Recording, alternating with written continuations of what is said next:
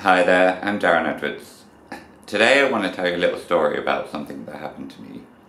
The other day I made a vlog about going out in Barcelona and when I watched it back I realised I was chewing chewing gum the whole way through it. I know that's not very nice to look at so sorry about that but there's a reason behind it. Two years ago I had cancer. I had cancer in the back of my nose called nasopharyngeal and I had to have radiation therapy and chemotherapy. So hence why I sound a little bit nasally and what it did to me, it kills everything around your mouth. And now I don't make saliva. So chewing gum helps me force produce saliva.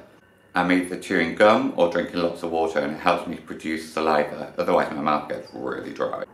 I'm a very open person and I talk a lot about all the things that happen to me so if you want me to go into detail about what I went through, then message below and I'll do another vlog on what happened. It's a little bit morbid and I am and about posting some videos of me going through the treatment. I really applaud the people that do do that because it just, it helps. This is the core message that I wanted to get across today. I had quite a few friends that I didn't even speak to through the whole way through my treatment and and into recovery because they really didn't know what to say to me.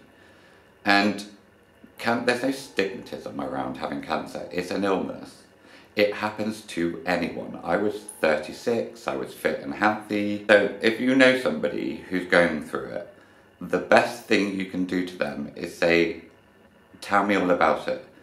The most natural thing to say is, oh, I'm sorry, and you don't know what to say.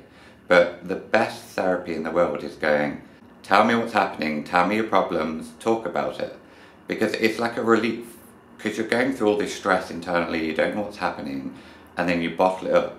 And that's just not healthy. And I went to the hospital every day and I met the same people and we just sat chatting about it. And it was so nice to be able to sit there and talk and moan if you wanted to moan, just to let it all out.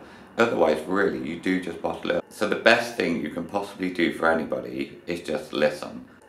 And I want to stress how important that is because it's just so helpful if you can just listen and be there. You don't have to offer commentary because you don't know what people are going through, but just to let them let it all out and go, okay, anytime you need to tell me, just pick up the phone, call me, I'll come around and listen. That's a really nice thing to do. So in my future vlogs, if I'm chewing chewing gum, I have to apologise now because I've forgotten to take it out. And if you like my channel, please subscribe below. And if you want, again, if you want to hear anything more about cancer, please feel free to message me and I'll talk about it. I had a very evasive treatment because I had it in the back of my nose, but it spread to my lymph glands. And it took me a year and a half to recover. But I'm recovered and I've just cycled across Southeast Asia 600 kilometers and I'm loving my life. So thanks for listening. That's my story and now you know why I sound nasally. And my next vlog is me actually going to London because I've got to go for my checkup. Okay, bye.